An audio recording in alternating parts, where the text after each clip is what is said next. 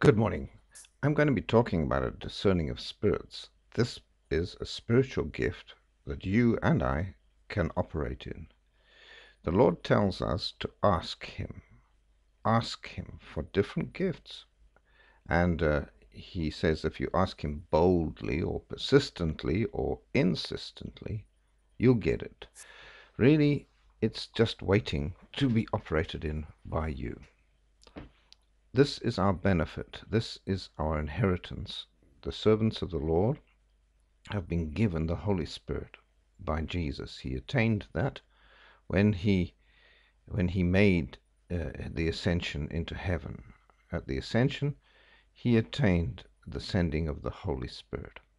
Jesus baptized people in the Holy Spirit only after he ascended into heaven. He cannot exist in the flesh on this earth uh, with, the, with the Parakletos Holy Spirit. The Parakletos, of course, is the that Holy Spirit that um, uh, pours out on all flesh. It's same nature as the Holy Spirit in the um, Old Testament, but it is uh, poured out on all flesh. It has the same nature as the Holy Spirit and the, the Ruach in the Old Testament, but it is poured out on all flesh, which means that in the New Testament, uh, even children can operate the spiritual gifts, and I've known them do that. Now, the gift of a discerning of spirits is not discernment. It's what it says it is a discerning of spirits you are enabled to see the truth what spirit is behind when a person speaking or when some advent of, or, or, or some uh, community is being moved by a certain spirit or a person is being moved by a certain spirit you you're able to see it and um, discern it rather. You can't uh, sometimes you can visualize these things other times you just know it in your heart what's going on a discerning of spirits discerns good and evil spirits, angels and demons. It is a gift of the Holy Spirit. It comes upon you.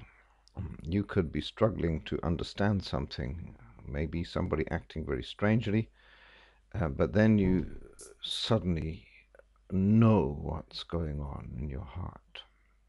That's the gift operating. Very important gift operating. One time I, I oversee various ministries and one particular ministry in Africa. Um, it's, it's a large ministry now, but I was with it when it began. And that ministry uh, always on my heart. I'm a director of it, and I, I, I continued always to hold it in my heart. And one night the Lord uh, woke me up and said, There's an evil spirit moving on that on that ministry. So I prayed about it and prayed. I didn't get any uh, clarity on it, but I just knew there's an evil spirit coming upon that ministry now. So I contacted them and I said, What's going on? Oh, no, nothing. Everything's fine. Uh, we've got the board operating, and next week we're going to have another board meeting, and everything's fine. They said, see, well, I said, well, no, it's not. I can tell you that. There's something very bad going on. Okay. Now, the next week, when they had that board meeting, the board decided to send them away for a year and take over the ministry and uh, basically kick them out. And of course, the board was not competent and not called by God and not in a full time ministry capacity. They were just um, people who had helped out, and uh, but now they're wanting to take over, and uh, they gave them some money. They gave the, the, the, people in charge that I deal with some money and sent them out the country. And I said, and when when I contacted them again, I said, well, now what's going on?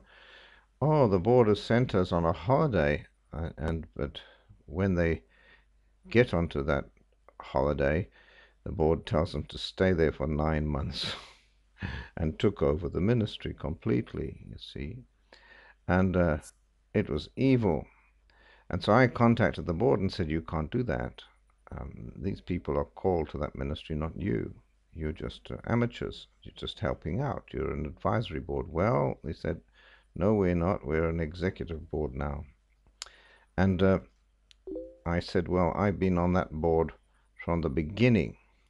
And uh, I say to you that the Lord has not called you to do this. This is very wrong. Oh, well, we find fault in, in the couple that are running this ministry and they need help and they kicked them out basically and took over. I said to them, You can't do that. And then they got very angry with me and they said, We're going to fire you, Pastor Phil. I said, You can't do that. God appointed me to that place, not you. And I said, In fact, God tells me you're fired. And basically, they took over, ruined the place for about two weeks.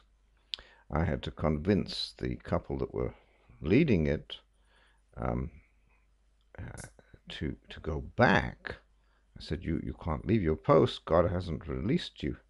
You must go back and do what is right and take the reins of that ministry back again." See, when they got back, all the money had gone from the ministry. They had orphans, like ninety orphans, and, there's no food. There's no nothing, and uh, even the engines had been damaged with sugar, and, uh, and the pipes had been ripped up that brought the water to the to the place.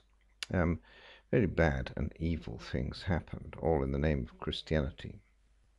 And of course, because I was involved, and because God showed me by a discerning of spirits that there was an evil spirit moving on that ministry, I was able to prevent its collapse and its demise because certainly that board was incompetent and not called by God to run that place. But they lusted after it and envied after it and made a political choice to get rid of the, the leaders. And they always had a good reason, but it wasn't of God. And this is very important to know that who God appoints and who God calls, that's the ones that build, not the ones that men appoint and men call. They might build some kind of church or club or something, but they don't build God's kingdom. God calls people to build his kingdom. He's not a beggar and he doesn't need flesh to help him to do what spirit should be doing. We are building a kingdom of spirits and spirit values. We're not building a kingdom of flesh. People think the churches, you know, the assemblies of God or the Methodist or the Anglican Church or the Catholic Church. It is not. The Church of Jesus Christ is made up of true believers, and it's totally unified by the one fact that it is connected to the head called Jesus Christ. And all those who are not connected to the head are not in his church. It's very simple. On this rock, i.e., the revelation of Jesus Christ, I will build my church, and the governments of hell will not prevail against it, and not upon the rock of human uh, uh, management or mismanagement and, uh, and, and, and administrations. These things are human, not uh, of God. God requires no one, but he, he includes us in his plan. Praise the Lord. the discerning of Spirit's gift is very important. Sometimes I can tell by the Holy Spirit that a pastor is lying to me because I know I can I can just sense that lying spirit. Uh, I can, uh, you know I look at a person's face on a photograph and knew that they had AIDS. How did I know that? I see. The photograph just showed me the face, but I knew, and I was right.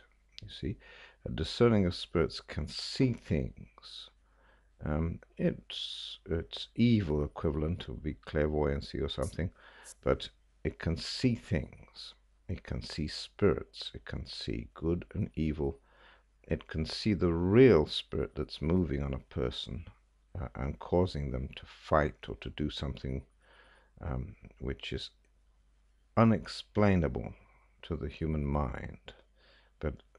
Discerning spirits can see what the problem is. When you can see the problem, you can deal with it according to the to the uh, the weapons that we have. We can get rid of uh, the, the enemy, But if you can't discern that it's the enemy, then how can you fight it? And how can you get rid of it? And how can you cast out demons if you can't see them or even sense that they're there? This is a very important gift in the New Testament and one that we can all uh, operate in if we believe and ask Him according to Luke chapter 11. God bless you.